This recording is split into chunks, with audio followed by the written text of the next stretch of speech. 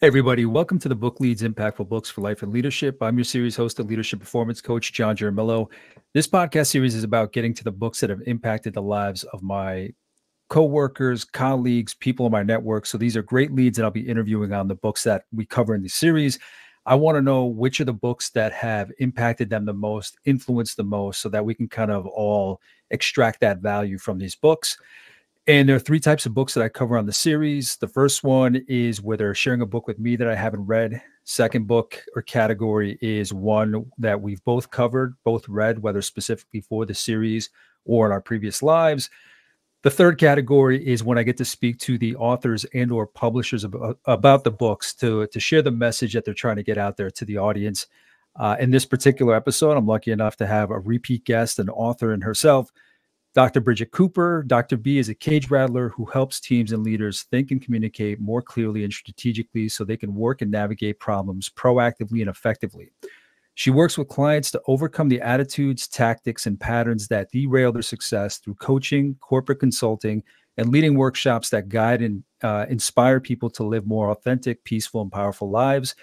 A TEDx speaker and a best selling author of seven books on communication, conflict, change, and empowerment including the 2023 toolkit Unflappable. Her mission is to change the world one life at a time. Dr. B volunteers for Junior Achievement, Lasagna Love, the Miss America Organization, Connecticut Children's Medical Center, and various other charities near and dear to her heart. And Bridget and I met through mutual connections. She's been with me on the series before in episode 24 when we covered her book, Pain Rebel How We Take Our Power Back.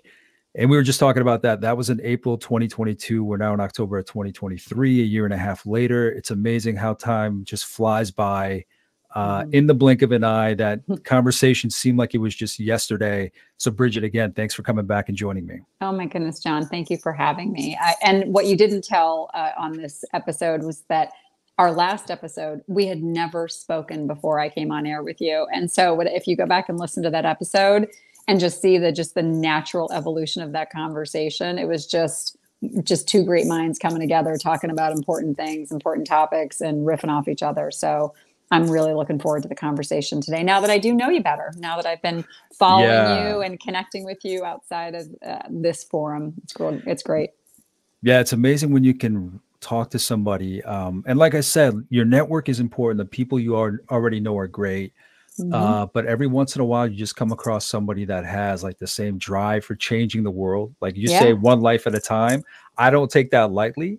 Yeah. I take that literally. I, mm-hmm. I love that kind of impact. I realize that those are the people that I'm drawn to, um, that they don't underestimate themselves. They really mm-hmm. want to change their world, their community, as small or as big of a ripple as they can impact at whatever time. So yeah. I'm lucky that our paths crossed, and I'm glad you were willing to come back for a different uh, a second conversation. Same. Yeah i think it's i think when you figure out what it is that you were put here for and it doesn't mean a job title it means an energetic footprint a kind of impact that you want to have it, it just lights you up, right? It moves you toward moving obstacles out of the way, uh, you know, facing down challenges, overcoming, you know, doldrums or whatever might be pulling you back, and you really want to engage in the world. It's it's why mission led organizations and leaders and humans are they leave a greater impact. They have a, a bigger story. They have a bigger reach because of that.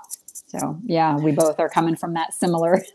yeah and it's one of those things where if you tell a younger person coming out of college or going into the trades, whatever they may do, maybe going towards in their career, yeah. when you tell them that, it's like they're like, oh, okay, okay, I've heard that before, but at one yeah. point you just hit your stride where you find what you're all about, what you can contribute, what is really uniquely you, and once you get into that zone, it's like all the fear that you may have had before when you mm-hmm. didn't know what was going on for you what you needed to do for yourself it just it just isn't there because you just don't again sounds hokey but you just don't see any limitations because you mm-hmm. realize like that source of power that you always needed to sustain you is right. is internal if you're a dreamer if you want to create something if you want to put something good out there i mean it's all there inside you for the taking but we spend so much of our lives looking outside of ourselves to find it yeah, and I and I don't know about you, but I what I have witnessed from the people who have made those powerful shifts and investments in the way that they bring their gifts to the world often have found a a crossroads at a really difficult moment in their life.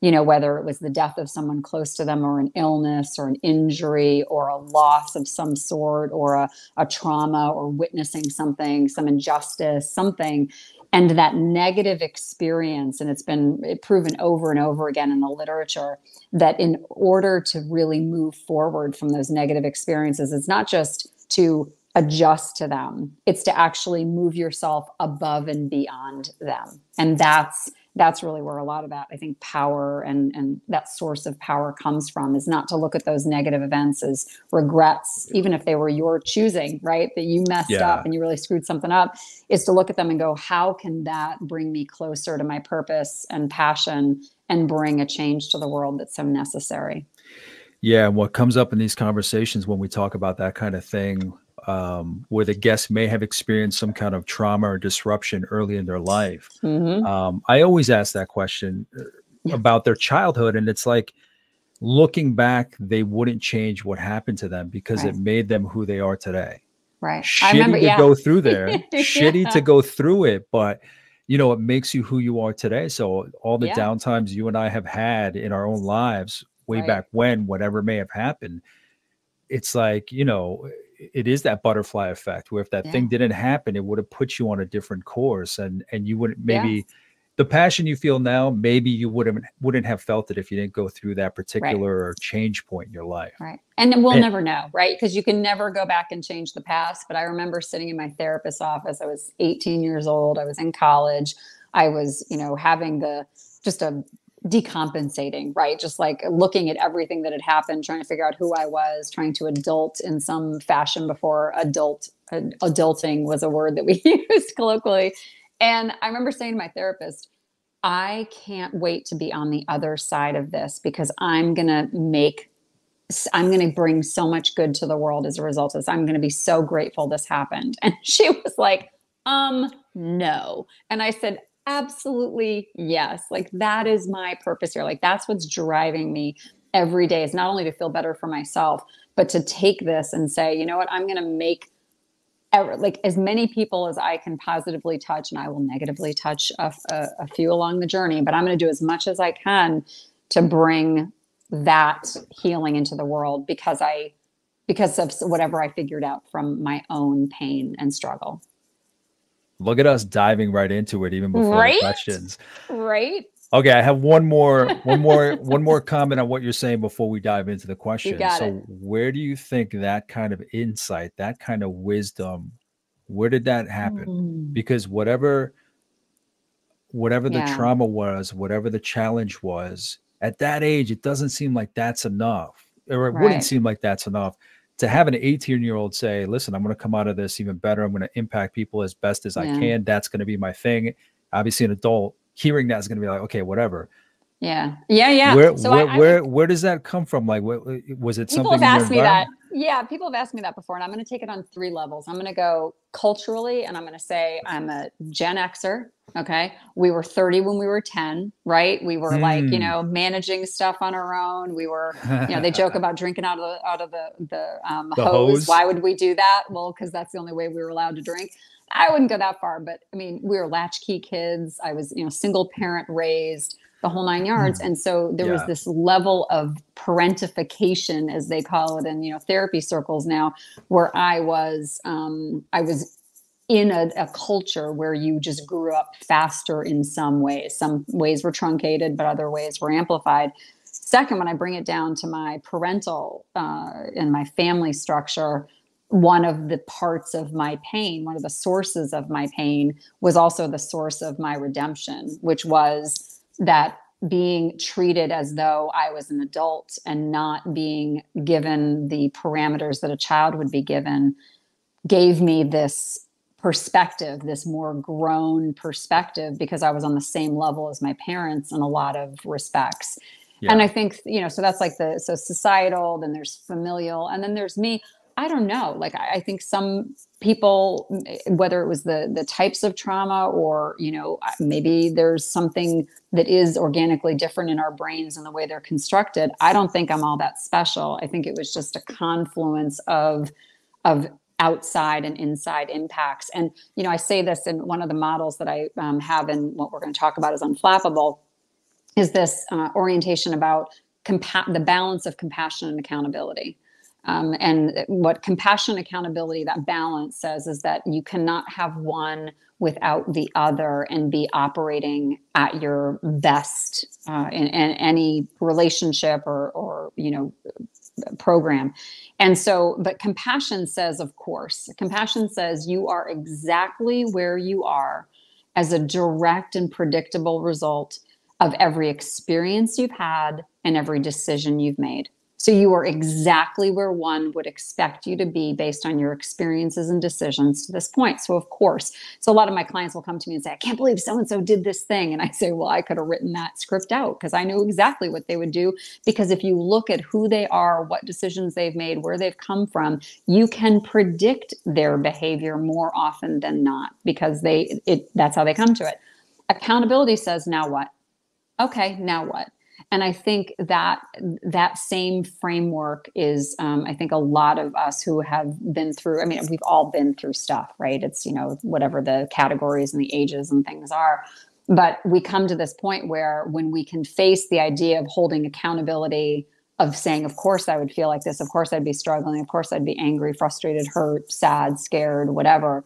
But now what when we mm. hold those two things simultaneously we're able to move and take the the gifts and the troubles that are handed to us in those moments and make something positive out of them and change then every mm. future moment because again if we are exactly where we are as a direct and predictable result of every decision we've made and experience we've had then that means that our experiences and our decisions going forward will necessarily change our future yeah yeah all right, let's dive into the questions, All and. I'm sure we'll get more into what you just outlined uh, as we talk about your new book. Yeah. So, for those who may not have listened to the previous episode, yeah. episode 24, re- remember when you're done with this one, go listen to that one. Yeah. Um, because uh, Bridget, I don't know if I, I think I might have told you, um, somebody had reached out about listening to that episode, had their own brain trauma, and cried, cried in listening to your story on that one. Um, so that to me is amazing just because when somebody feels that emotion, something's yeah. resonating with them. Right, Maybe, right. you know, something that you said, the tone that you used, the words that yeah. you used. Somebody going through that experience doesn't have many people that they can talk to about what that feels like. Right. Um, it's invisible. Yeah. It's yeah, it's it's invisible. Yeah. Um so no, I, I, appreciate the story you you shared. I'm I'm sure it'll be mentioned here, but sorry, let me get started.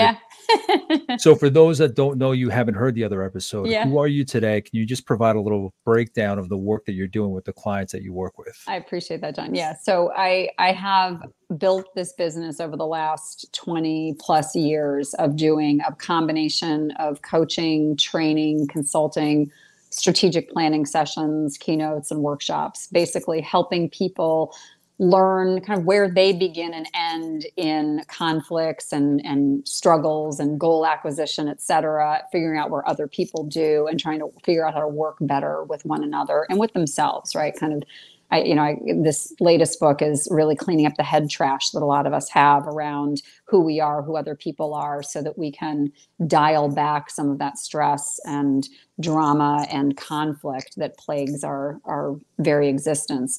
And I've been doing this again for about a little over 20 years, and I I'm absolutely passionate about every client that I have. They come to me with sometimes very clear um, descriptions of what is wrong and other times they just know something's off whether it's a corporate client or, or a, an individual client. And helping them to go back when we start off this call figure out what their mission is figure out that that mission focused direction for their team for their company for themselves uh, really helps them move forward in whatever they're doing. So, uh, you know, and people have called me an author. Yeah, I guess I'm an author. I've, you know, this is my seventh book, but I never set out to write books. I just, I knew I needed one to do all the keynotes and have something in the back of the room and put something out for people who might not work directly with me, but wanted the, you know, to benefit from some of the experiences and, and you know, um, advice that I'd offered and then they just kept adding on and on and on. You know if somebody would say you know you should write a book about? You know you should write a book about? You know you should write a book about? And i'm very i'm very i was very impressionable. So i did the first five books in three and a half years and then i took a bit of a hiatus and then came back and in 2020 you know we talked in 2022 about pain rebel. And this latest book is really I, you called it a toolkit at the top of the the show. That's really what it is. Over the 20 years I've been working with, you know, uh, thousands of people, um, tens of thousands of people um, around the world, I have cultivated through workshopping and or just knowing what's worked in my own career and watching other people what works in their career and workshopping these tools. I have like a hundred plus tools that I use with clients, frameworks, you know, uh, ways of looking at the world just a little bit differently, other people, quick tips that will shift your focus away from whatever's stressing you out or angering you, that sort of thing. And so I just took them, the the the best of them, and I put them in this book. So there's about I combined some into sections so that there's a little easier readability of them. But there's probably close to 75, 80 tools in the book and it really will help people be able to consult something and say i'm having this problem with other people. How can i fix this? and then look and see what that looks like. So. Awesome. Yeah. um now to understand how you ended up here can you give me a walkthrough? Um, well start yeah starting well, whatever the first steps whatever the first steps were into your career um you know, mm-hmm. past school, what was it? What were those yeah. those steps to begin that career journey to here? Yeah. It's so it's so interesting. So I call myself Goldilocks, and not just because I'm blonde, uh, but because when I started off, I went into my undergrad was with a concentration in human resources management because I wanted to help people, but I wanted to work in business. I got into that and I thought, this really isn't what I envisioned. I'm like processing payroll, I'm overseeing hiring and firing. Like, I'm not this isn't OD. I didn't know what OD was then. OD mm-hmm. wasn't as elevated as it is now and commonplace to talk about. So I was like, no, I want more OD. And then I decided, you know what I really want? I want to do like therapy. Maybe that's what it is. Like, so that was too cold. Let me go into therapy. So I got my master's in marriage and family therapy. And then I was, I thought, mm, this is a little too much, right? Yeah. You know, we are I was dealing with at the time a state population addiction services way too close to home a lot of tragedy a lot of trauma. And i thought i don't know that i can do this forever. Like this seems like a lot. So i went back and i ended up getting my doctorate in educational leadership and doing leadership oriented work which really combined the human resources side of the things that i've been doing and the therapy and counseling side of understanding kind of how teams work, how groups work, how people work within systems, and combining those two into you know, a more of a leadership focused career. And then I started my own business, um, like I said, about 20 years ago, and have been doing this work ever since. When you think about your childhood, um, does it make sense that this is what you're doing? It's funny you asked that. So I actually picked up a book. I don't even know how long ago it was, maybe like 15 years ago. I was going through some old stuff that I had from childhood. And when I was the at the ripe old age of I think 13, uh, I went to a summer camp program, and it was more like collegey. So we took classes, and one of the classes was write your own autobiography. Now, if any of you have a 13 year old out there, right, you can understand how many stories a 13 year old have has and how much they could really write an autobiography. Ha ha, right? They do. But yeah, I had yeah. all these stories. I thought I knew who I was, I, you know, whatever. And I wrote all these cute stories, these quips about, you know, the precocious nature and the mess ups I'd had and other things. And in the back, it's it had an about the author section, and it said that uh, when I grow, when when she grows up, she's going to be a stay at home mom and a part time psychologist. Hmm. And I, this was years into my career, and I looked at it and I was, I thought, oh my goodness, like I actually ended up exactly where I thought I would. I just didn't know the words around it. I didn't know what a coach was. I didn't know organizational development. I didn't understand, you know, keynote speeches and whatever. But I wanted to help people with their problems, and I wanted my kids to come first and i was able to create a business and a career with those two things being my primary values my my my north stars and so that's to me it makes sense because I wanted to repair everything that was going on in my family. I wanted to repair and help Mm. all of the people out of their pain, out of their self defeating cycles of storytelling about how terrible things were, how awful other people were, to get out of that victim stance, because that would have made my life better. And I didn't have the agency, the Mm. ability to do that. So as an adult, I thought, you know what? If I can do that for even a handful of people in this world, it's a domino effect, and I'll have made someone else's life easier than mine was. Yeah, that's what I was thinking when you were talking about compassion, then accountability. Yeah. Like, okay, it's it's okay that something and I and I was gonna say that word victim, victim Yeah. victimhood, because it's okay that something happened, but don't Yeah. sit there, don't stay there, don't stew there, don't Right. suffer there. And it's funny because a lot of people think like, oh, but then that lets them off the hook. Like I, I know I did this. I wore my badge of honor of suffering and victimhood for so many, like way too many years, right? Because it was the thing that um, told me that it happened and that it was worthy of attention, right? And, and it blocked me from engaging too deeply with the people who had hurt me, right? Because I had this wall of anger up. And only when I realized that whatever had happened and repeatedly it happened, it wasn't like a one time event, right? Repeatedly it happened. When I was sitting in victim mode one year, two years, 10 years, 20 years later, those events had disappeared. Those unchangeable moments were so far in my rearview mirror, but I was holding the suffering in real time. And what I learned later about our brains, John, is that our brains don't know the difference, don't understand time zones. So when Mm. we recreate a moment that has happened in the past, our central nervous system starts Oh, the entire process over as though it's Yeah. actually happening in the moment. Same thing with rehearsing things going forward, right? So every time I brought back to mind how terribly I'd been treated, how awfully I'd been abused, I was activating that same trauma response over and over and over again. And I, I there came a moment when I was like, no more. How dare they that event, that moment take away one more minute of my life?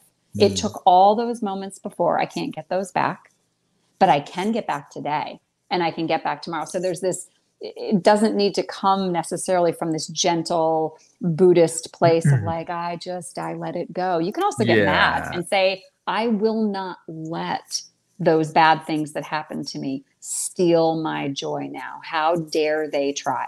Right. And that rebelliousness, right, is like sometimes that's the energy that somebody needs to come at it with and uh, do your thing. Yeah. Yeah. I like how you say it doesn't have to come from this peaceful Mhm. place. It doesn't necess- necessarily No. because everybody's going to be different. Everybody's going to have a different ability, uh, different history. So everybody's going to approach it differently. Sure. But I love that you clarify it doesn't have to look like you're being the bigger person and all is forgiven and all is forgotten, that No. it doesn't have to look that way. Mm-mm. But You can, whatever, yeah. go ahead. Yeah, no, you can just be like, I will Or not pissed, or pissed. Yeah. And, and I think part of it is not allowing the getting pissed and and absorbing too much of that hit on yourself, like that guilt of oh now I feel badly that I've been so angry for so long, but recognizing again we, uh, compassion. We are exactly where we are as a direct result of all the experiences and decisions we've made. And if you've made a decision to hold on to it for all this time, of course you would feel like that. Of course all those things would happen. But getting angry enough to say no more like Yeah. getting that strong no to come out of like your your bones Yeah. can be enough to say I- i'm leaving this situation whether it's a terrible abusive boss or it's a, a you know a, a family member or a friend or whatever it is it doesn't need to be cut off but you can get real clear that enough's enough Yeah. and uh and yeah move forward yeah. It's almost like you have to get primal, not violent. yeah. not violent but primal where you know your body's taking all of this in and and you know we're in civil society so obviously we're taught to to keep some kind of decorum and right. some kind of composure but at the same time i mean that's not the way that we're programmed No, that's where boxing you know? comes in. I was gonna, I, I, was gonna say, I forgot that you had mentioned that previously about the boxing, but uh, yeah, I was gonna mm-hmm. say, or taking some kind of martial art, just physically getting that energy out of you. There's so much. I actually do um, a, a, technique with my uh, clients when they are feeling angry or or anxious, like they're feeling their central yeah, nervous system yeah. is in fight or flight is yeah. to actually do this the shaking mm. of the hands like you're trying to dry your hands without a dryer yeah and just doing that actually does trigger to the brain to let that go and to dial that back yeah yeah, yeah. i uh yeah i believe that because i've said even from my anxiety that I've learned it's always going to be there. I'm not yeah. coping with it because I don't think it's something foreign. I just think it's something that's programmed into our DNA. Um, so yeah. for me, it's just living with it. It's just determining when I get that sensation, what is it?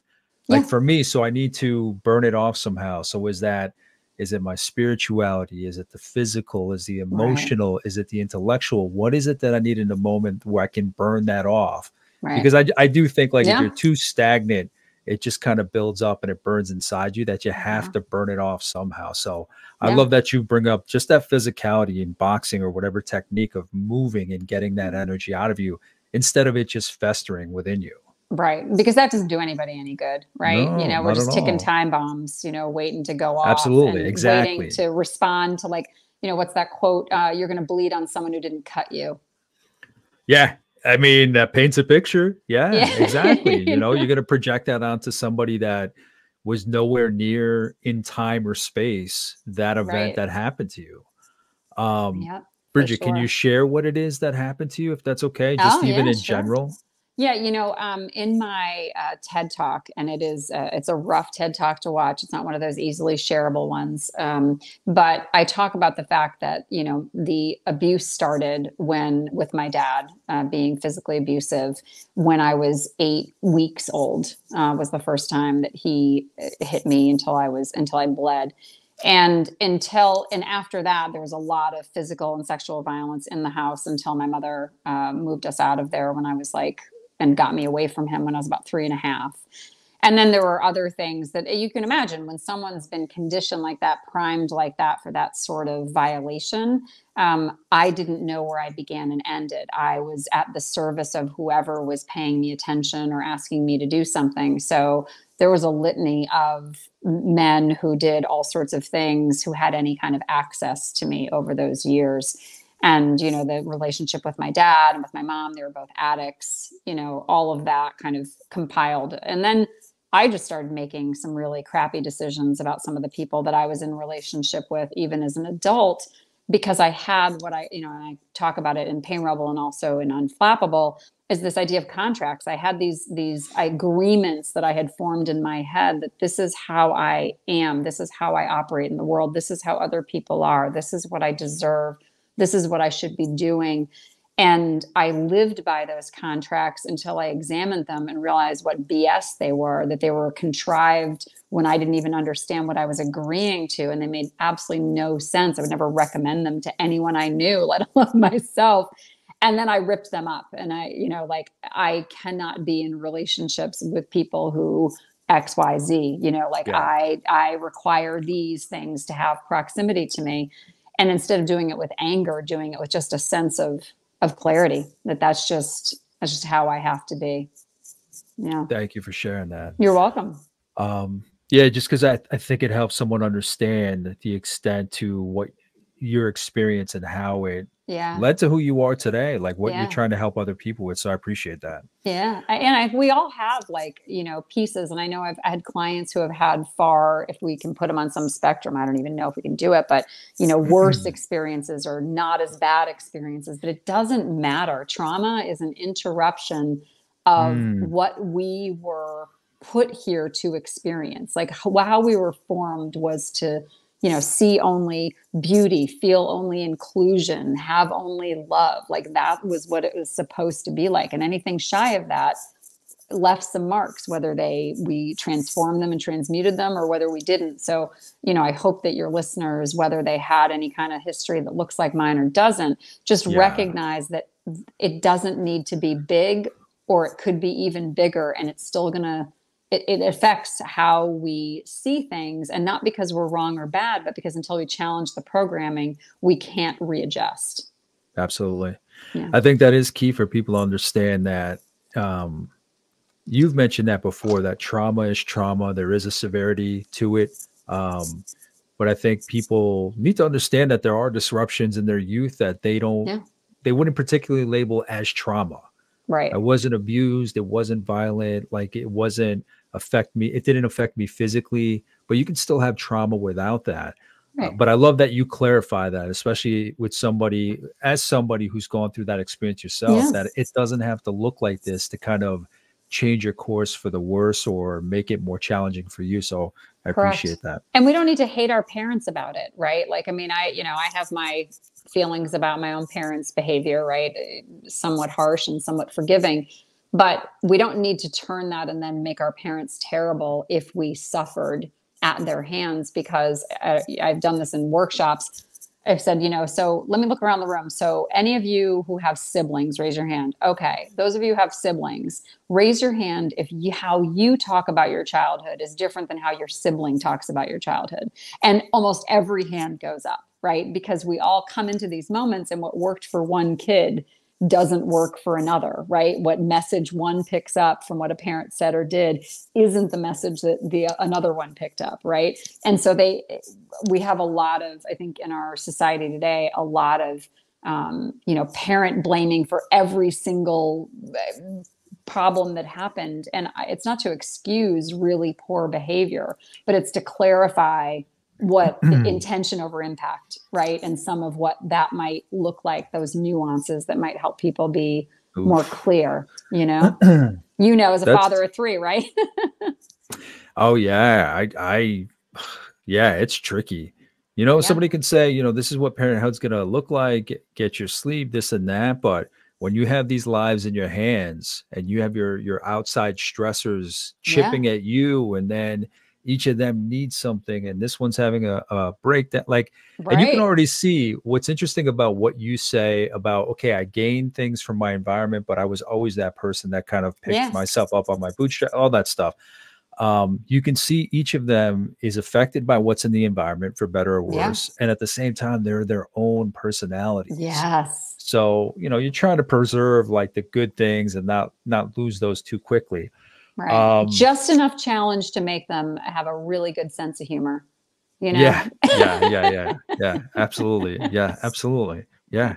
It's interesting. I mean, talking about how we're Gen X, right. the way my wife and I raise our kids, where obviously we want to take care of them completely. Yeah. But we don't, we're not helicopter parents. No. Because I want I want them to face adversity when they're yes. around me right. in a in a controlled environment so that they're not thinking that the outside world it's like i tell my son like when i discipline him or talk to him you know sternly about something or take away something he wants just kind of as like a pause yeah.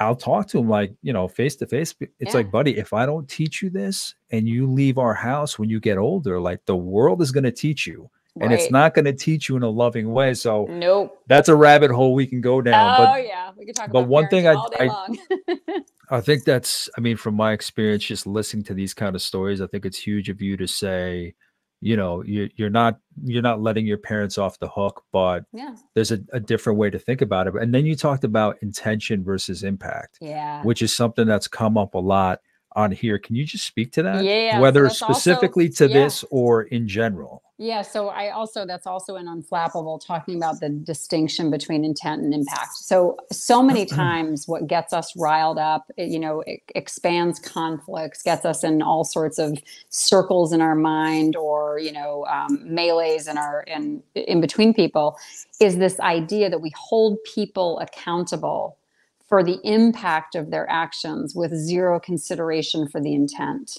Mm. And I think that it really is how we have to be mindful. It's not about not holding someone accountable to some extent for the impact, right? And clarifying how that intent was off or whatever. But I think if we could just look at the intent more often, we would solve so many more problems and take fewer things personally and be offended less and all of that because we would recognize that the impact for us might be different than the impact for someone else and what sorts it through is the intent. So you know if your intention in you know you come you, you come into the office and you know you bring like uh, you know donuts and coffee for everybody because your intention is to tell everyone how much you appreciate them and they've been working long nights and you're really excited but you have three people in the office who are on a diet who feel overweight and they feel right? So now they feel worse about themselves because they can't participate in the thing. So the impact is negative but mm. the intent was good. And so often we get stuck on well they made me feel fat and yeah. you know whatever right? Instead of looking at like yeah but what did they mean by that? Because if you can connect with someone on that intent you can clarify the number of options that line up with the intent. So if your intention is this, can you look at what the impact will be from the action that mediates those two things? So it's an intention, there's an action, and then there's an impact, right? So what do we need to modify in the action step to be able to have the intent and and the impact align? Yeah. Excuse me. I I asked you to kind of just expand on that just because over yes. the course of the last couple of years intention versus impact has been huge i mean you've mentioned you've mentioned um, just now like not getting offended when you hear something yeah. Um, I've seen so many examples where people went into a room with the right intentions, but because they weren't educated enough in the language right. of their intention, yeah. the other side got mad. Right. Like you should have known better. So there's no teaching moment. Right. There's nothing. We just shut down communication. There's so much of that happening exactly. in the workplaces right now and in society at large of not listening at a deeper level to really understand. Let's look at, and that's what I, that's what the whole book is about. It's all my work is about, is about trying, my, my North Star is clarity. I'm looking for clarity. I'm looking for compassion. So I yeah. want to listen to what people are, are thinking and I want to make that clear so that people can get past some of that garbage that happens when we kind of make something out of something like we, it's, it's, almost like we're in this we have so there's a part of our brain in the um, brainstem that's called the reticular activating system and what it does is it seeks to find what you tell it to find okay? So like if you were uh, thinking you know what i want? I want a black toyota camry. Mm. all of a sudden the entire city that you live in is filled yeah. with black yeah. Toyota Camry. Like, where did they all come from? I don't understand, right? Everybody's got a black Toyota Camry. Well, we know that that statistically isn't true, but we all of a sudden start seeing them everywhere because we put it into our brain that that's what yeah. we want. The same thing happens with offense. When we are when we are oriented toward the world, that the world is out to get us the world is ignorant people are stupid people are you know they're they're you know coming to annoy me we are looking for we are turning on our reticular activating system to like beep beep beep beep beep find the offense and then react to it. And if instead we switched our reticular activating system to seek understanding like i wonder and i talk about this in the book too about curiosity over certainty is to adopt a curiosity mindset to be like i wonder what that's about. Mm. because again i can judge it all i want but judging it doesn't make it different if I can get yeah. curious, then I can try to figure out what the problem is and then I can try to solve it. Yeah, that's why like everything you see on TV, the talking heads, I mean, they're going to talk about it from their standpoint. Yes. You know, all the all the the different groups that are against each other, that's just, you know, they're they're they've assigned themselves to this side. That's all they know. They're up against you and there is right. no there is no aiming to understand. There is no aiming to build a bridge that the trigger of looking for something to get offended by that oh, could be that could be an entirely different episode. Like it's just amazing. It's it's so it's addictive right? It's addictive because what happens is when we get offended again our central nervous system gets hijacked right? Mm-hmm, and for mm-hmm. some people that ends up feeling like a high oh like yeah, something they want to yeah. like recreate that like adrenaline rush right that that is just, right it's that goes back to that primitive where you're on the lookout yes. for something your body needs that high your body right. needs that you know i think we're relatively more dormant and stagnant sure. than our our primitive ancestors. yeah We're sif- we're sitting safely in a house. We don't have to Yeah. worry about for the most part. Everybody Yeah. does for the most part. Not everybody. So now we have but- to manufacture it. We have now we and have to. Okay, now I I need that high. My body Yeah. needs to chase something, fight something off, be Yeah. attacked by somebody. Listen, go do Oh paintball. Go to a go to a, a, a maze room, right? Go to something like do laser tag, Yeah. like figure out something else. But honest to God, if I could do anything to shift how people see things, um, it would be a mixture of obviously the compassion and accountability piece and curiosity, but it would be about looking at what is happening as not being a reflection of who you are as the first step. Now, I I part ways with the four agreements. Everybody loves talking about the four agreements. Mhm. Anybody who knows me knows I get riled up about the four agreements because of the chapter on take nothing personally. Hmm. And I stand apart from that because if you're being a jerk, Yeah, absolutely, right, absolutely, right, absolutely. I I love just the book. I yeah. love the book. Um, I love it too, but and I know agree mean. with that chapter only for the most part. And it correct. like any like a anything else. Yes, like anything else with coaches, right. um, there Right. is gonna be a limit. there you know, take the tools we give you, but you know, use some common sense. So Right. yeah, absolutely. But I, you I'm, I'm with you. you know the people you've run into the people who will do the most jerkish things right like act like absolute you know you know what's and then say yeah but i don't take it personally. Like when they react to me like that i don't take it personally. And that's where i always go whoa, whoa, whoa, wait. First you got to do a thorough moral inventory and then you can say this is mine.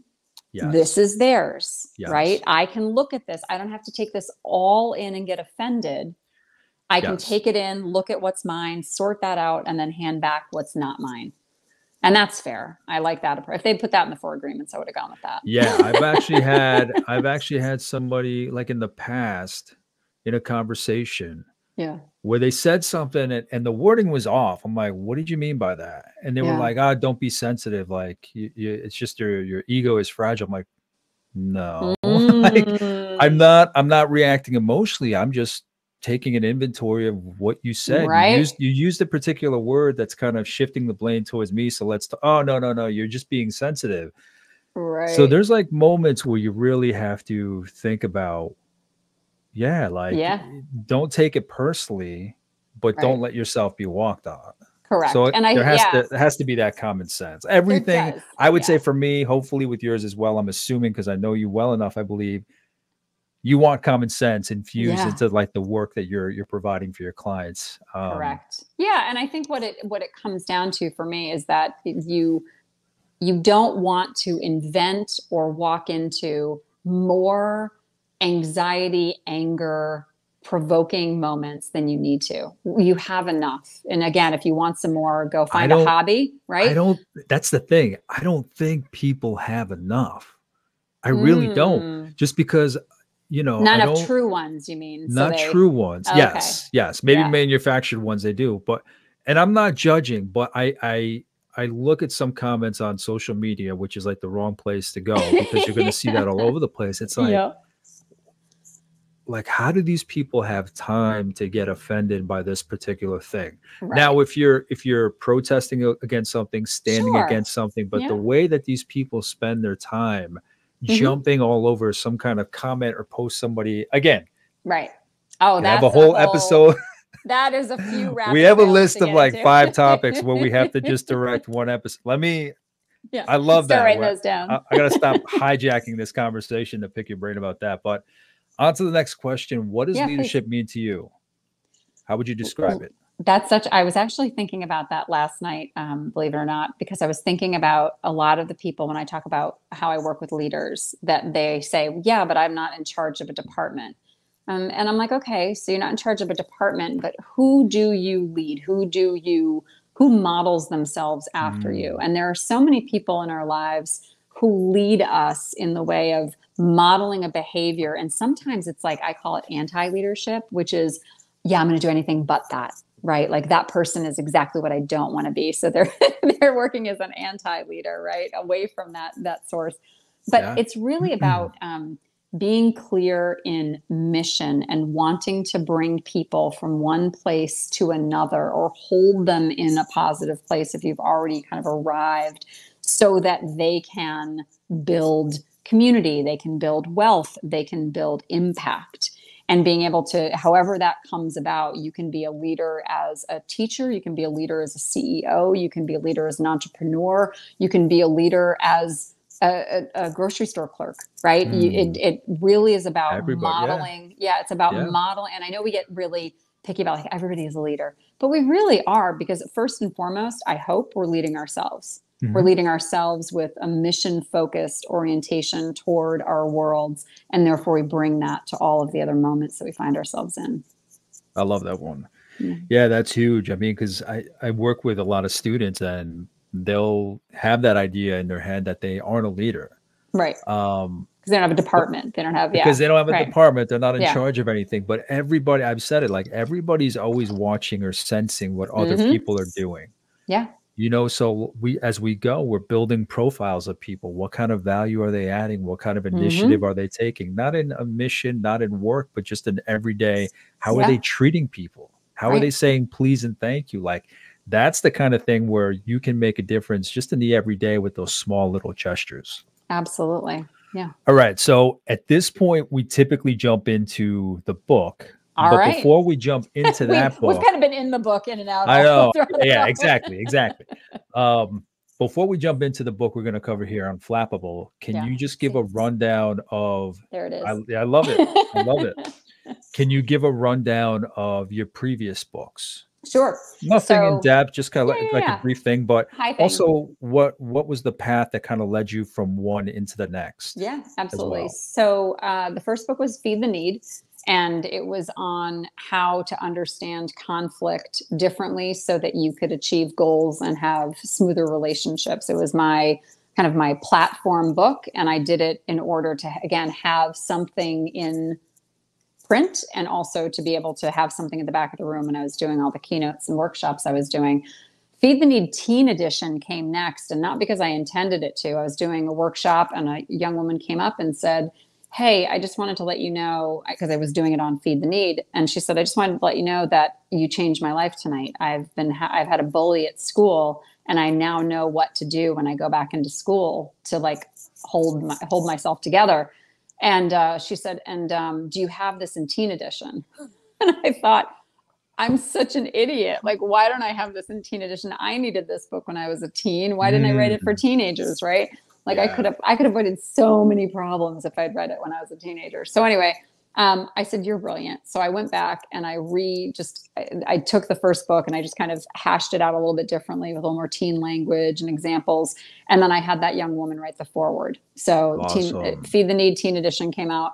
And then the third one was um, I called Stuck U, like university, and also play on words. And uh, it's about the change process because I was doing a lot of change leadership work with organizations at that time. And I wanted to give a manual really to the people who were either on their own change journey or in the journey with the co- corporation to understand what that was going to require of them. So there's a five step change process that I use with clients, and that's in there.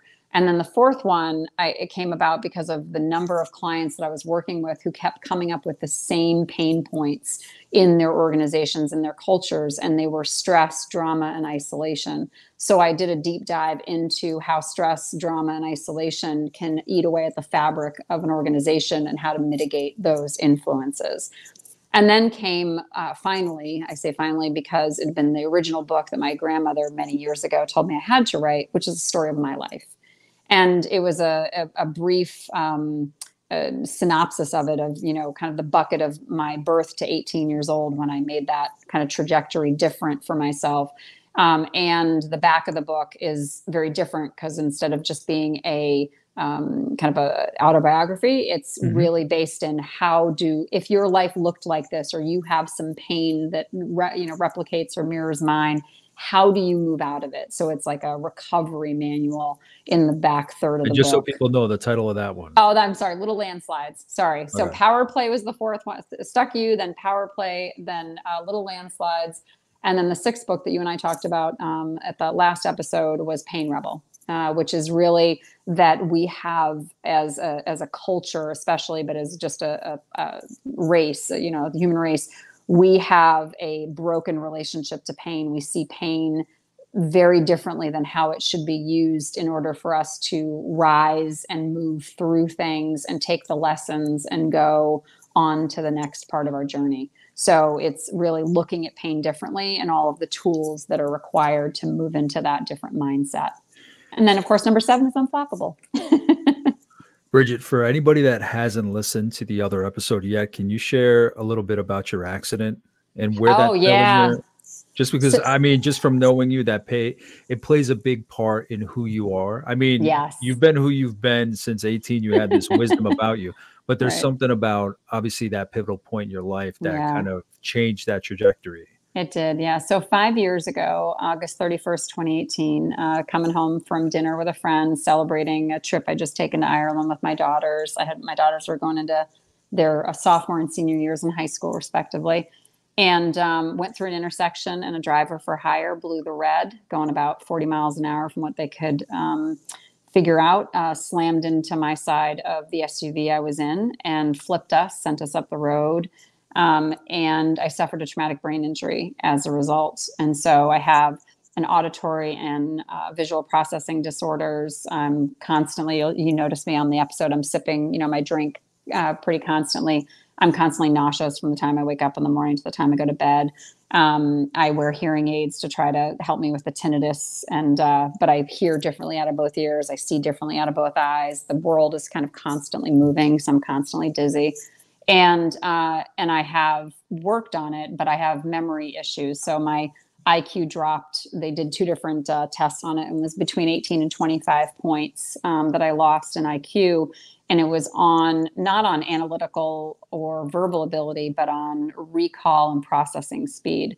And I've worked really hard to mask a lot of that in a lot of the ways that I communicate and prepare for things.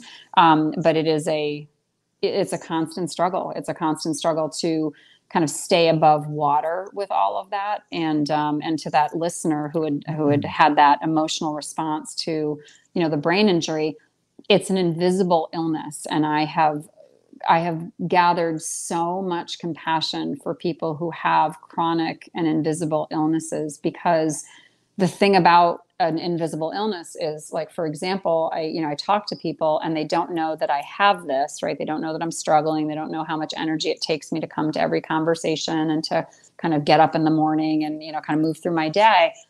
So when i sh- uh, in order for them to know i have to tell them which means that i have to then talk about something that i hate to even focus on right? And then because we are cultured to make people feel better I get a lot of, oh, yeah, I'm like that too. Oh, yeah, I forget things. Oh, yeah, you know, that's just middle age. Oh, yeah, right. And they're not meaning anything negative by it, right? They're trying to have me like feel okay and better and more normal about it. But what it does for people who have those kinds of either chronic pain or other illnesses is it makes them feel even more invisible and mm. having to talk about it in order to be visible, which is you know, one of the tips I gave to um, some friends of mine a few years ago, and it's really helped, is stop asking me how I feel. Because, how, again, this is talking about intent versus impact, right? So, the intent of someone asking you how you feel when you have a chronic illness is to let them know that they're thinking about them. You know, like, I care. I want you to feel better. I, are you feeling any better? I'd love to hear that, right? The impact, at least for me and for a lot of people with chronic illnesses that I've spoken to, is that it then makes us have to talk about how badly we feel right? And so I, i've said to my friends listen if i feel better you will know. I will be yelling from the rooftops that all of a sudden or you know in small steps i feel better. You will know. Um, instead how about just say i know it was hard to get here today. I can imagine it was hard to get here today. I just really want to thank you for showing up right or I really want to I appreciate the time that you devoted to this because I know it, you know, these these moments aren't easy for you. Just and if I Yeah, if it, that works. Right? That's okay. Does That's that work? Okay. It yeah. still works because here's the thing. Then I know that they see me and I know that my efforts are appreciated because the upward climb for those yeah. of us who are struggling with chronic illness is immense, right? And you can and here's the thing john it's not a one size fits all. We talked about the rage versus the you know the the buddha right? Like mm-hmm. approaches. This may not be for 100% of the people who are listening right? Who have a chronic illness. They might be like i would take offense to that. I don't want to hear that. You know what? Yeah absolutely. That's fine. That's then, why that's why i said that because i can imagine some people saying that it sounds like it's like uh patronizing or like coddling maybe. but but here's the thing. Yeah each intent. person has their own thing Right. And if you are in relationship with people who you think would be patronizing to you, then you need to do a check. Mm. And here's the like, do you know what I'm saying? Like, I oh, think absolutely, part of this, absolutely. part of this is is looking at who are you. If you are the person who is in a relationship with someone who's chronically ill, ask them, ask yeah. them what they need from you how can I best support you? How can I best love you? How can I best befriend you? How can I best work with you? Right? Like, how, what do you need yeah. from me to get the best from you? And let them tell you versus assuming that you know and then operating off of that. Yeah. Yeah. That's a good point to bring up just that everybody's going through a different thing. If they're yeah. going through the same thing, they react differently. If they, react differently maybe they want to hear different um, right. inquiries about their health and how they're doing but I think yeah, we we we walk on eggshells and then we try to do what we think is right. and we don't want to bring up what is it you need? How should I put this to like that conversation yeah. may be comfortable, but it's like do it once, get it out of the way so yeah. you have like a a code for how to kind of interact going forward. Right. But I mean, how relieved are you? How relieved are you when someone actually asks you a direct question versus guessing and trying to figure it out? Right. Yeah. Even like, that's one of those again, intention versus impact. You're trying to yeah. do the right thing, but uh, it's just that it can be, you know, uh, a minefield just because we're just all so different. Yeah, but, but we can't take responsibility. Yeah, you can't take but responsibility yeah, when in doubt, else's. just ask yeah. the question like, "How? Yeah. I don't know anything about this. How can I best help you? How can I best right. check in with you instead of right it's tricky. It's tricky. Um, it is tricky, but we can't take responsibility for how other people respond to us. Absolutely. We can take responsibility for our intent, intention, mm. and we can take responsibility for addressing an, uh, an unintentional impact. Right? We, yeah. but to try to figure out both sides of the relationship all the time stop exhausting yourself right because yeah. you know i'm my job is take care of me so if you come to me and you say something that upsets me i'm going to let you know and then we're going to yeah, work through, right you know like you and i are very similar um, another guest connor delaney and i are very similar in that because yep. because the book radical candor came up in that yeah. conversation with with uh, connor where it's kind of like i just say what's on my mind yeah. Not to be rude, I'll try to do it with tact, with some couth, but I don't like wasting anybody's time. Right. I want to get to what I need. I want to get to what you need. If if if I feel like there's something that we need to sort out to move better forward, right. I'd rather do, do, that than kind of play that guessing game for you know weeks and months and years, whatever it may be. So I like that you're a straight shooter. I appreciate. Oh that. yeah, for sure, for sure. Um, okay, so unflappable. Yeah. Now we can yes. dive into that please the lead up to the book what was it that kind of you gave points along the way of our conversation yeah, today. itself but yeah but how so, did the what was it uh, that that led you to write this particular book? It, it, was a it was a duh what i call a duh moment like what an idiot i am moment. So i was doing a series of workshops for a client up in new hampshire state of new hampshire agency and i had a number of people come up to me after the workshops were over and ask me which book should i buy? Which book has all this stuff in it? This was so easy so helpful so good. And I looked at them and I thought, I don't have all this stuff in one book, right? I had been pulling from different books and I had had things that weren't in any books because they just didn't mm. line up with the overall purpose of the book. So they just, the tools didn't make it in there. And I drove home the entire, like, whatever, two and a half hour drive home going, you are such a fool. Why do you not have one book where all your stuff can be found? Like, why does somebody have to pick between six books? Like, stop it already, right? So I went home and I started looking for all my tools. Like, how many tools do I have? Could I make a book out of it? Like, what could I do? And John, I didn't even hit a couple of the books and I had like 80 tools. And I went, oh, I didn't know I had that many. That's kind of cool. So I just pulled them together. I organized them. I, you know, rewrote a lot of them. I, you know, added examples and, and activities yeah. and things like that.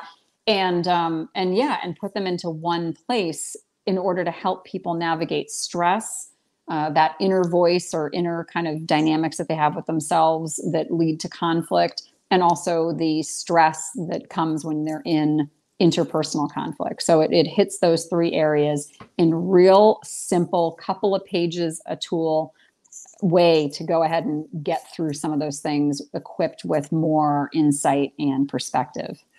Yeah, so the book is Unflappable How Smart People Quit Overthinking, Ditch the Drama, and Thrive at Work. You got it. And I, I mentioned that only because what you just said, what you just spoke about, was about the person. Yeah. You know what I mean? So yeah, they're, yeah. They're, it's like the personal work that they're doing. Mm-hmm. Because I think leaders, like whoever you are as a person, whoever you are outside, is going to bleed into what your Yeah. leadership is. The more Correct. peace or the more turbulence you have at home or outside in the personal, somehow it's going to rear its ugly head, or for better or worse, in the workplace. So I like that you bring up that it is that personal work, but It is. it I does mean, it's- impact. Yeah, it's got the whole book is on uh-uh. how we do these things at work. But it's not for nothing what you said, which is that if you've got head trash in your head at home, you've got it at work and vice versa. That you're not. You know, I I don't know of anyone who like snaps into some different human when they walk out or inside the door. And now that most people are, so many people are working from home, they don't even Yeah. have that transition moment, right? So this is working at the human level, but it's That's a very this- good point with the remote working now. Like Right? there, now There's even no if you did take it to work, there is Yeah. no separation. You couldn't None. be away from. Not saying home life is toxic or tricky, but you know there are be. stressors. It Yeah. can be. It can be. Yeah. I'm just saying not all.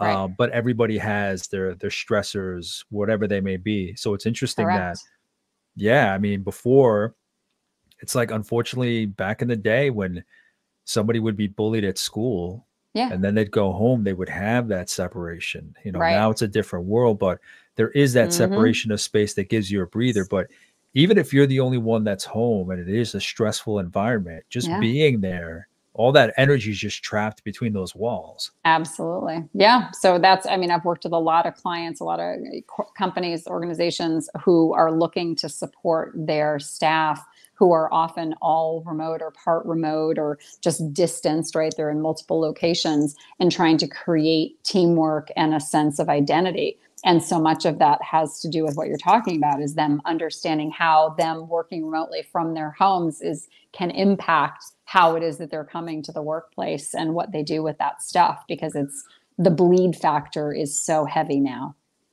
Yeah. So how do you how did you organize the book then? Is there is it broken up in sections with Yep. a couple tools in each? Like how did you go what was your thought process in organizing it for the reader and the journey that you were going to take them on? So I had as as creative people do, or when people are creating things, I had a lot of different ideas about it. Um, it ended up with me doing it in four main buckets, and the first bucket is foundations, which is basically okay, everybody, here's how I look at the world. This is my framework on kind of how the world, how people work, how stress works, how the brain works. Like, if you don't agree with this, if you don't see how this works, none of these other tools are going to have a foundation for you, right? You're not going to under, I'm not going to be able to call back to this information effectively. So I put a section in there, a short section on foundations. And then I move right into stress busters, which are techniques that are uh, help you bust, re- you know, remove, reduce, avoid a lot of the stress and understanding stress Mhm. differently. And so each of the tools, again, are just a couple of pages long. Some might be three, but that's probably about the max.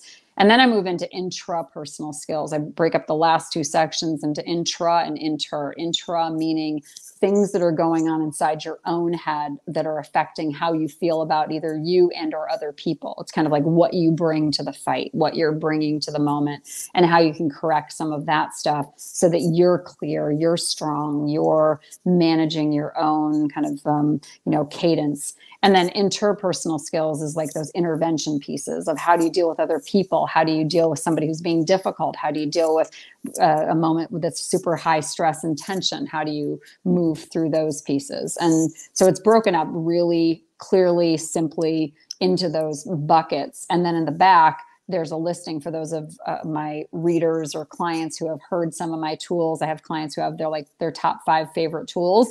You can go in the back and look up alphabetically what those tools are and where to find them in the book. Awesome. Yeah. Uh, would you be able to give just a few examples, maybe two examples of I well, I just gave a, a, you so many with compassion and accountability and curiosity versus certainty and intent versus impact. But you're see, I didn't realize how many. see, many. I'll give you. I'll give you. I'll, I, I, there were probably more, but I have short-term memory issues, so who knows? Oh, and contracts. We talked about contracts. oh my God, you're right. See, I gave. Hey, listen, you were talking so about that stuff in plain language. How was I supposed to know that they were the actual? That's what I'm saying. That's what that's like. That's the the beauty of. I, listen, I, I joke about this when I do presentations. My mother was a um, finance and accounting major. My sister was a math major, like super smart with numbers. Not me. I'm I'm smart with other things, but I have to keep things simple in my mind. They have to have two, three, four, maybe five steps. They go beyond that. They get too complex. I can't tackle Yeah, them. absolutely.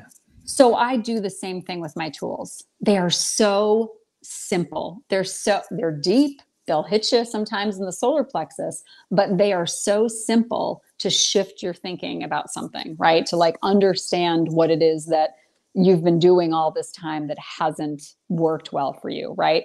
Like so one I just I'm, I just flipped through the book. I'm like, okay, Yeah, what sure, haven't I shared sure. with them? So I'll, I'll share this one.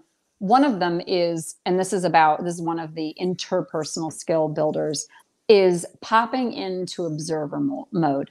So, so many times we think that we are a player in an interaction, right? We are, it's us against them. We've got to prove a point. Mm-hmm. We've got to get this thing across the finish line. We've got to do this, right? And that may be true, right? There are roles that we all take in a in a, a conflict.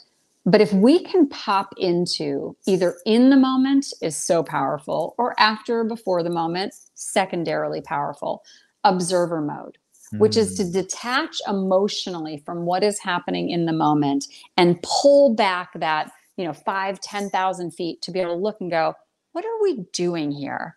Like, Mhm. what's happening? Okay, so I'm getting emotional. Oh, okay. I'm, my voice is, ra- is is rising. Okay, I need to turn that down they're they seem to be triggered off when I say that word, right? Okay, I need to not use that word. I'm noticing that every time I say something, they say this other thing. Okay, right? And getting into that observer mode can help you get your ego out of the fight because so many of our problems, it's not that we Mm. are, shouldn't have an ego. We all have an ego. Every one of Oh, us yeah, has an ego, right? It serves that- us. Right. It serves us until it doesn't Yes. which is when we have an ego and it's about the ego winning versus the initiative succeeding Yes. or versus the company or versus the you know the relationship being healthy that's when we need to set that thing down we need to go okay Absolutely. I hear you. I feel you. This is troubling. This is upsetting. You're going to need to set aside for a minute. So, observer mode is like that power tool of being able to shift into observer mode and be able to be detached from that immediate conflict so that you can use the front of your brain, you know, your prefrontal cortex, Yep, where actually, you know, higher brain where things are, you can actually analyze things and problem solve better instead of that reptilian brain where you're just trying to survive the moment And say, whoa, whoa, whoa. right exactly but that is Yeah. like popping so doing something as simple as going i'm going to go into observer mode and imagining Mm. yourself going into observer mode is what your central nervous system needs to to calm and to be able to stop the flooding of cortisol and adrenaline to be able to listen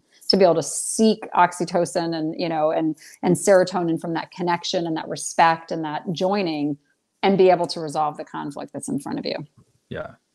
yeah that's one of Yeah. that's one of my go-to's yeah Um, yeah, it's funny. I used to do, or I wrote something about something like that, similar to that. Just it's funny how we we both speak about like stepping back. Mine Yeah. was kind of just breaking the fourth wall. Yeah. Like pretend you're watching a play. You know who the players are. You know, you know their personalities. Like Mhm. you can watch when certain people are doing certain things. So yeah, it's just that emotional intelligence of just stepping back Right. And knowing and just that you and can realizing always, like yeah. it's it's not going to get us anything. No. You know, how often does it really work out to our benefit? Yeah, that yeah, maybe Yeah. we won momentarily, but in the end, what did we really get and take away? Yeah, the biggest, I don't know about you, John, but the biggest regrets I have from any personal or professional interaction were when I let my emotions get the better of me. And not because they weren't valid, not because they weren't right, you know, but because they didn't serve the purpose that I really wanted. They didn't serve that that mission, that mm-hmm. overarching mm-hmm. objective to again succeed, have the relationship stay on, you know, on on track, whatever that was. They didn't help that because they polluted the environment.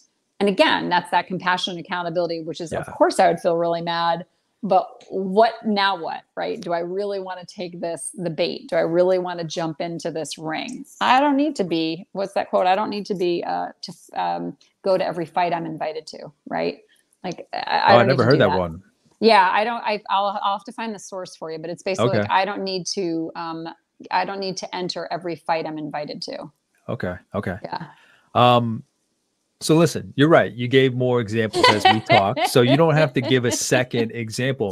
But if you could, yeah. if you could, why don't you skip around to maybe three or four and just give the title just to give uh, people a sense of what they can find, what else they can find. Oh, I love this. Okay. So you're gonna I'm gonna send me back to my uh my index here. My goodness. Um, so all right, so we've got um uh control buckets uh, we've got the uh, coping versus healing mechanisms. People confuse some of their things that help them get through something to the thing that they need to keep doing to actually heal from it. Not a fact. Mm. Um, derailing the runaway th- thought train and how you do that. Um, uh, appreciating the worst in others. I know that sounds tricky, but I've got a roadmap for that too. Yep. Uh, I have a whole section on joy versus fear-based people. I actually had one of my clients was writing a book and putting this section in his book, but it's around uh, looking at people as understanding that what are they motivated by? Are they motivated by seeking opportunity, options, change, choice, and joy? Or are they driven by avoiding fear, avoiding risk, avoiding trouble? And when you notice that that's the framework in any conflict, you can at least understand it and extend accountability and compassion to that moment. Um, oh, I love my, I do a whole workshop on this, but meeting hell to meeting well figuring out how to manage those meetings because as since the pandemic we actually are in meetings 250% more often than we were before the pandemic. So um, i have a whole strategy on trying to reduce and refine that uh, to a more manageable level. And it's amazing when clients show you their calendar. Oh like how do you get anything done right? Like, like at, at night at night. Yeah. it's just wall-to-wall meetings uh, and it's, they can they complain about the efficiency of those meetings, and then they're catching up. You know, as soon because uh, typically yeah. I work with them after work, so then they're like, "All right, uh, it was great seeing you again. Now I'm going to go to work," and they work till like 10, 11, midnight. It's unsustainable. It is so bad for the human condition to be and working I think in some those people, ways. It's a badge of honor to it say, is. "Look, look at my calendar." right, I'm working all these hours. look this at this. What, yeah. Look what I'm doing. Yeah, like the whole that whole notion of busy I'm too busy. Uh, I'm so busy, yeah, right? And busy yeah. doesn't give value. Biz impact no. gives value. Yeah, Absolutely. busy does not. And so looking at that from an impact standpoint. So yeah, and I could go on and on. I haven't even hit like M, but yeah. No, no, I appreciate it. so I think I asked you the last time we talked about Pain Rebel. In yeah. writing this book, what lessons did you take away, or how do you view the material different? What changed you in this process? That's such a great question. I um, I know that since the brain injury, and we talked about this uh, during uh, for Pain Rebel, but since the brain injury, I knew that I could was a great challenge. I could tackle a book like this because I broke it into its smallest possible denominator. So, get, like attacking one tool at a time allowed me to be able to move through the editing and the writing process in a way that was effective if I had started to write a book from start to finish, like just kind of like as it evolved, I, I used to be able to do some of that. I don't, I, I don't see myself doing that anymore. Um, but what I was, I was very, I was grateful to myself and and just a lot of this healing journey that I reworked the interior of the book several times. So I learned some strategies in my own mind of how I had to manage my time, how I had to manage certain parts of the process, who I had to call in for help to be able to stay on track, to be able to do that reorganization that I, I couldn't do it alone. And I couldn't do it without a real clear intention and plan on how to make it work. Uh, you know, old brain would have been able to just fly with it. That wasn't the case with this one. So that that yeah. I definitely learned. And I also I think the the last thing that to me is just really affirming is you know again I've been doing this for 20 years. I've been helping people with their problems you know since I was whatever you know knee high to a grasshopper. But I um I I looked at this. I know I sound so southern. Um, I looked at this book and and and realizing how many tools I have, it made me as again someone who is like it's been challenging the last five years and kind of like holding on to my you know sense of self and you know how i feel about all the things i'm still capable of doing of seeing how much stuff i have and how much i have to offer people and how much healing and change and support i can provide just in them having a copy of this book. And that that was really incredibly rewarding to me to be able to feel like my body of work is something that's really um, significant you know, and mm. and really helpful. So I'm really excited to share it with people and get them to. I have actually bonus tools that if they go to my website and they click on the unflappable link, there are a few tools that the editor was like, "Nope, you just don't have any more room. You can't add those in." So I stuck them to the side, and there are a few uh, tools they can download. They click on the unflappable link on my website. Awesome. Yeah. The next question I usually ask, I'm not going to ask you. I'm just going to tell you it's there. It's usually what's next for your writing, but I know this is this is your seventh book. Seventh, yep. Seventh. So I'm not going to ask you that. But when you come back on to talk about a book that's impacted you, that's yeah. not that's not one of yours.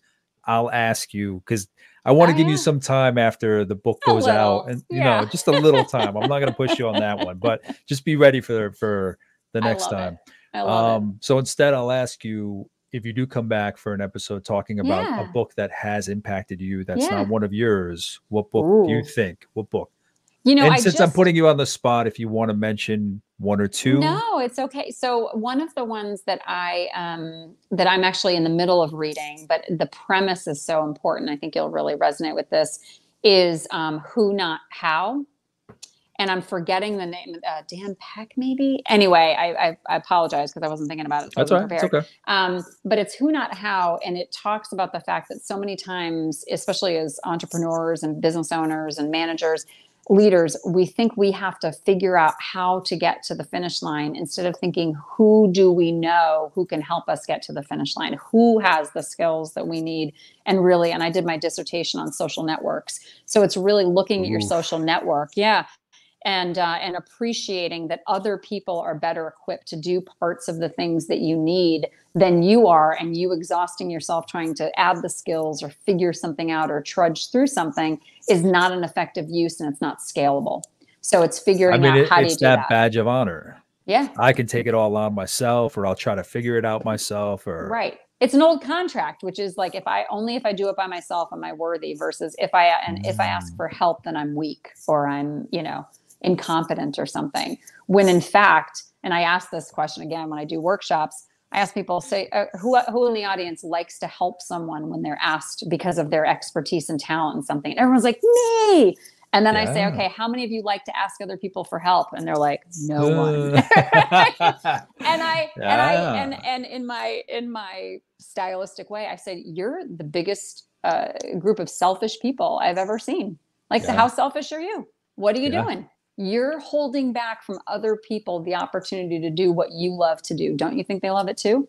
It's not yeah. about being burdened with BS that you don't want to do. I mean, I'm not saying like everyone loves being asked to do stuff that they don't have the capacity yeah. to do. Yeah. But when it's an informed ask, like you're so good at this, I would be so grateful if you were able to put your skills and your talents into doing this. Could you do this for me? People are like, I'm honored. Like, wow, they thought of me, right? Yeah, I mean, that's what I, I tell students too. Those that are curious about they're not sure what their next role is going to be yeah. or what they want to go into or how they're going to use this degree. I'm like, now's the best time for networking. Yeah. You know what I mean? Like start building Bridget, that network. You and I, this is the second time we're working. We've worked together for three hours. To me, this is designing value. Right. Like exactly. to me, that's a point of pride with me. These conversations are designing value. Right. And I haven't met you at all. Yeah. You know, it, when and I think we only live like two or three towns away from each other. we got to fix um, that, by the way, John. yeah, absolutely. But that's just an example of yeah. you know paying attention to your network. Right. I I'm constantly on LinkedIn, paying attention to who's out there. And I Yeah. told them if you're curious about somebody, if you come across somebody who's commenting on somebody you know, or they're engaging in some way, and there's just name that always pops up, and you see the title, and maybe you go to their page or you see what they're writing, Right. ask them for virtual coffee. Right. Like And no one, anybody so- worth their weight in gold is going to say absolutely. Like I'd love to thing. share about. I'd love to share about myself. Yeah, and this is where we have to stop the internal dialogue that stops us from moving forward with those asks. Is Mm, if they don't, do you want to be connected to them anyway? mm, exactly. And the answer is no. So the, there Exactly. is no no, Yeah. right? There's only a not this person, Yes, right? Like yes. you're you're not losing anything. You're just you've now decided that person doesn't belong in my network. Because that person is and it's not a judgment, it's just a they're not a fit for me. They don't not they're not going to be authentic with me, right? Such a great point to make. Um, because I always say it. Unfortunately, it's a game of numbers. yeah. Um, not in that people are expendable, but if somebody says no, like they're they're there's somebody past that no, there's somebody that does want to help. So I think that's a big lesson Yeah. for people to take away. is Just there's too many people out there. If somebody's not quite giving you the value that you can exchange with them, like there's Right. there are people out there I guess is what I'm trying to say. Yeah, It's amazing. It's Go amazing. you have to get through those no's to get to the yes that you deserve. Absolutely. So keep going with the no's. Yeah. So, in wrapping up, is there anything else you want to share? Obviously, the book is coming out within the week. Is there anything Yeah. else that you want to share that you have coming up, Bridget? Yeah, no, I just um I've got a they won't probably hear this in time for that, but I've got a launch event on Monday the 16th. Um, I've got the book uh, hits the um, bookshelf on uh, October 17th. And I'd love them to head over to my website, reach out to me if they have a desire to talk to me at all about coaching or doing a workshop for them or you know doing some management or, you know training i would love to be able to help in their you know leadership and coaching needs and you know pick up a copy of unflappable you want to hop on a call and talk about your favorite or part about it or question about it you can get a free 15 minute call on my website as well Absolutely amazing. One of my favorite Thanks. people doing the best Thank work, you. just based on just everything your your story, your history, like the books Thank that you're putting out there, how you're trying to help people. You. Uh, you're the best. Just uh, right you know, at you when- when the person reached out and said that they took that away from your story, it doesn't surprise me at all. It doesn't surprise me at all. So, again, that's just one of those things where it resonated with them. Yeah. Um, they maybe they didn't know uh, other people that had that experience. I'm sure they've met them, but to hear somebody mention it in their story, right um, it's just Right. great. It's amazing. So, thank you for that. yeah no one's alone you know as as alone as sometimes we feel in our experience Yeah. I can tell you, and you can you can tell your listeners this too, from all the people you've known and coached, you know what's under the hood, right? So the people who are out there, we cannot judge our insides to other people's outsides. And so Mm, when we really listen, we ha- listen to conversations like the one you and I had today. You start to hear my insides. If you looked at just my outsides, that's not what you might guess, right? That's not Yeah. what you would. That's not the story you might tell about me. And Yeah. so I think it's really important to to settle ourselves in that. that's why I love this series because I get to that. Yeah. You know what I mean? Like I like I say, like on LinkedIn, people share things, they write books, but there's something right. about hearing your tone, your Yeah. words, your experiences, your emotion come through in that conversation. So totally different. I'm so grateful Thank for for meeting you and for having these two conversations and for the many more to come. Absolutely, John. Thank you so much. And Bridget's book again is Unflappable How Smart People Quit Overthinking, Ditch the Drama, and Thrive at Work. If there's anything that I might have missed, anything you're curious about, anything that I should have covered, we're limited on time. I already dragged her here for an hour and 22 minutes. Reach out to me. I'll reach out to her, see what kind of feedback or insights I can get Got on it. that. But in the meantime, thank you for watching and listening, and I'll talk to you soon. Take care. Bye.